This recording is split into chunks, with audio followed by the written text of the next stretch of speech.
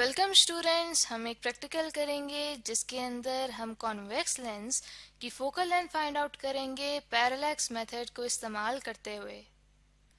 Convex lens को आप यहाँ पे देख सकते हैं कि कॉन्वेक्स लेंस इस शक्ल का होता है, यानी दरमियान से मोटा होता है और किनारों से पतला होता है। जब कॉन्वेक्स लेंस में से लाइट रेज गुजरती हैं तो कॉन्वेक्स लेंस उन लाइट रेज को कन्वर्ज करता है।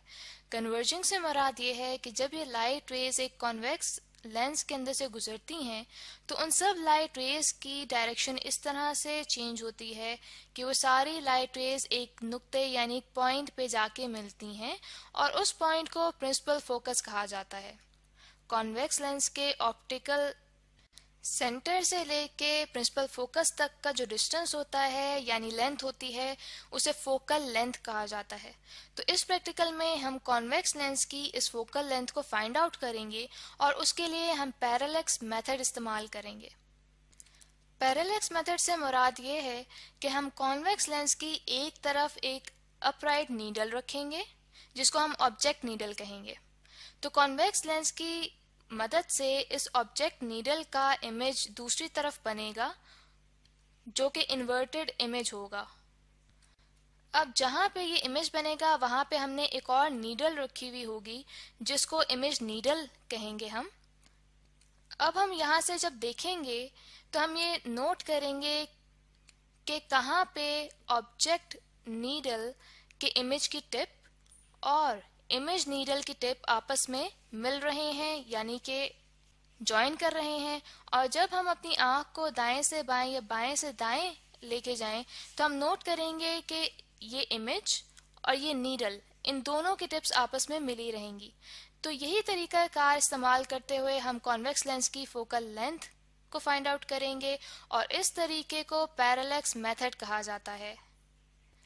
इस प्रैक्टिकल को हम इन स्टेप्स में करेंगे कि सबसे पहले हम देखेंगे कि हमें क्या क्या चीज़ें, यानी क्या एपेटस चाहिए प्रैक्टिकल करने के लिए।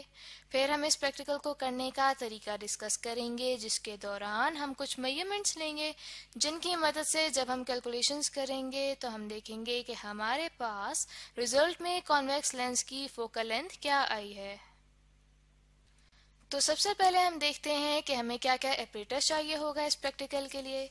सबसे पहले हमें एक डस्टर चाहिए होगा, यानी कि कॉटन का कपड़ा जिससे हम लेंस के ऊपर से डस्ट साफ़ करेंगे।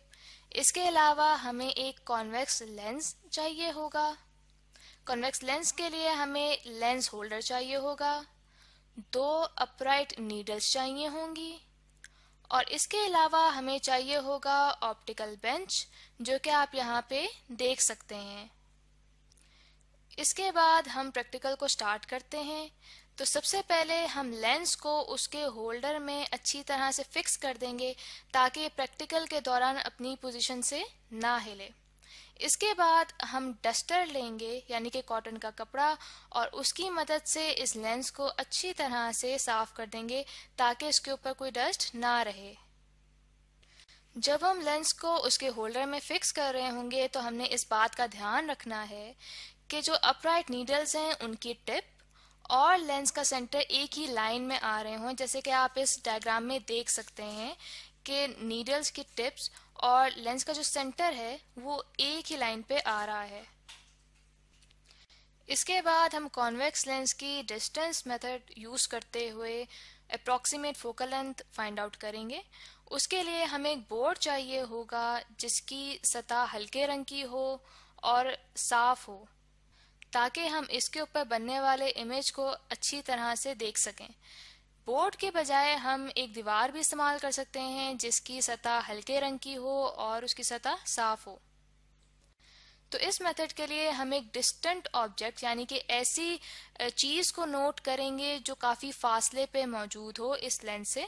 तो यहाँ पे हमने एक दरख्त को डिस्टेंट ऑब्जेक्ट के तौर पे लिया है। तो आप यहाँ पे देख सकते हैं कि इस कॉन्वेक्स लेंस की मदद से इस दरख्त का एक इमेज बन रहा है इस बोर्ड पे, जो कि इन्वर्टेड है। तो इसके बाद हम इस लेंस को या फिर इस बोर्ड को इस तरह से आगे पीछे मूव करेंगे कि हम देखेंगे कि किस पोजीशन पे हमारे पास इस दरख्त का गहरा, यानी कि डार्क और शार्प इन्वर्टेड इमेज बन रहा है। तो फिर जिस पोजीशन पे हमारे पास ये शार्प और इन्वर्टेड इमेज बन रहा है इस दरख्त का, वहाँ पे हम इस बोर्ड को रोक लेंगे या फिर इस लेंस को रोक लेंगे तो फिर हम इस लेंस और इस बोर्ड के दरमियान में लेंथ को फाइंड आउट करेंगे, जो कि हमारे पास अप्रॉक्सीमेट फोकल लेंथ आएगी। यहाँ पे मैंने ये अप्रॉक्सीमेट फोकल लेंथ लिख ली है, जिसको मैंने आपसे डिनोट किया है, जो मिसाल के तौर पे मेरे पास आई है 10 सेंटीमीटर इसके बाद हम दोनों अपराइट नीडल्स लेंगे, जिनमें से एक नीडल इमेज नीडल होगी और दूसरी नीडल ऑब्जेक्ट नीडल होगी। इनको डिफ्रेंशिएट करने के लिए हम कागज़ के ऊपर आई और ओ लिखेंगे और उनको हम इनके ऊपर स्कॉच टेप की मदद से लगा देंगे ताकि हम इन दोनों नीडल्स को इजीली डिफ्रेंशिएट कर सकें एक दूसरे से। तो यहाँ पे आप देख सकते हैं कि हमने दोनों नीडल्स के ऊपर आई और ओ पेस्ट कर दिया है। इसके बाद हम लेंस होल्डर में लगे लेंस को ऑप्टिकल बेंच के ऊपर रखेंगे, जैसे कि आप यहाँ पे देख सकते हैं। इसके बाद हम ऑब्जेक्ट नीडल को लेंस से कुछ फासले पे ऑप्टिकल बेंच के ऊपर इस तरह से रखेंगे कि ऑब्जेक्ट नीडल और लेंस के दरमियान में फासला अप्रॉक्सीमेट फोकल लेंथ से थोड़ा सा ज़्यादा हो। इसके बाद हम लेंस की दूसरी तरफ़ इमेज नीडल को रखेंगे और इमेज नीडल को लेंस से इतने फासले पे रखेंगे कि फासला अप्रॉक्सीमेट फोकल लेंथ से ज़्यादा का हो।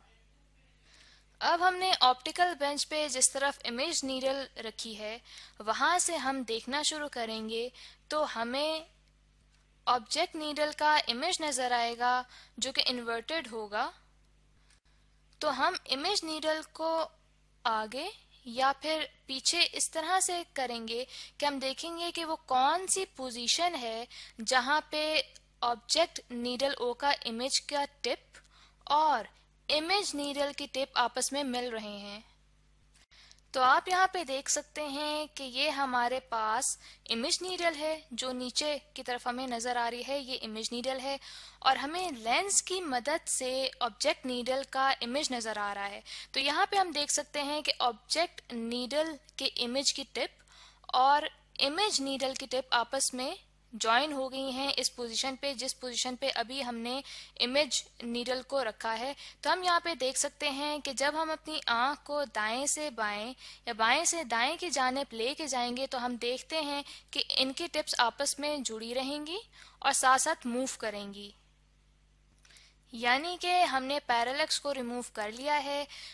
तो इमेज नीडल की जिस पोजीशन पे हमारे पास पैरालेक्स रिमूव हुआ है तो हम उस पोजीशन को नोट कर लेंगे। अब हम ऑब्जेक्ट नीडल लेंस और इमेज नीडल की पोजीशंस को नोट करते हैं। तो जिस जगह पे ये तीनों हमने ऑप्टिकल बेंच पे रखे हुए हैं, वहाँ पे मैंने ये निशान लगा दिए हैं ताकि हम इजीली इनकी पोजीशन को नोट कर सकें। तो हमारे पास जो ऑब्जेक्ट नीडल है, वो आ रही है 29.5 सेंटीमीटर पे।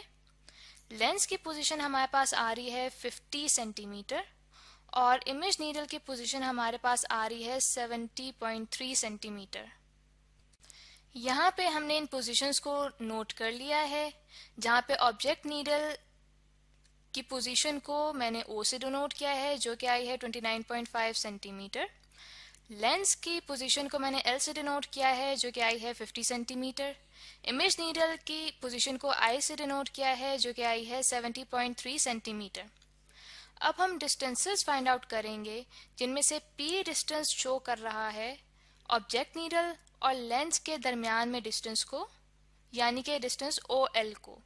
तो उसके लिए मैंने लेंस के डिस्टेंस में से ऑब्जेक्ट नीडल के डिस्टेंस को माइनस किया है, क्योंकि लेंस की जो हमारे पास मेज़रमेंट आई थी पोजीशन की, वो ज़्यादा वैल्यू की है। तो यहाँ पे मेरे पास 50 माइनस ट्वेंटी दे देगा 20.5 सेंटीमीटर इसी तरह से क्यू डिस्टेंस हमारे पास वो डिस्टेंस है जो कि लेंस और इमेज नीडल के दरमियान में है, यानी कि डिस्टेंस आई एल तो इसके लिए भी मैंने इमेज नीडल आई की जो मेज़रमेंट आई थी, उसमें से लेंस की पोजीशन एल को माइनस किया है, क्योंकि इमेज नीडल की पोजीशन की वैल्यू हमारे पास ज़्यादा है तो यूँ हमारे पास 70.3 में से 50 माइनस किया तो मेरे पास आ गया 20.3 सेंटीमीटर अब हम फोकल लेंथ फाइंड आउट करने के लिए फॉर्मूला यूज़ करेंगे, जो कि होता है F is equals to P multiply by Q divided by P plus Q तो यहाँ पे जब मैंने वैल्यूज़ पुट की और मैंने कैलकुलेटर की मदद से कैलकुलेशन की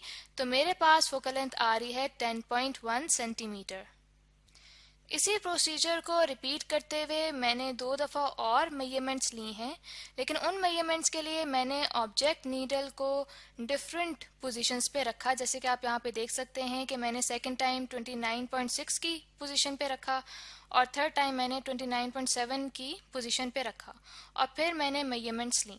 तो यहाँ मेरे पास फाइनल में तीन फोकल लेंस आई हैं।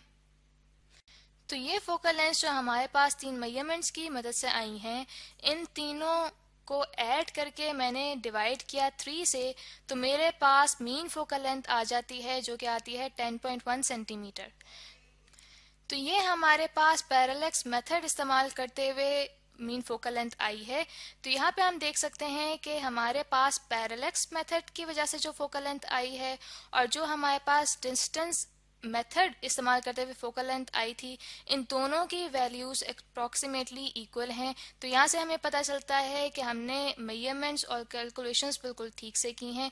तो आई होप स्टूडेंट्स के आपके प्रैक्टिकल अच्छे से समझ आ गया होगा।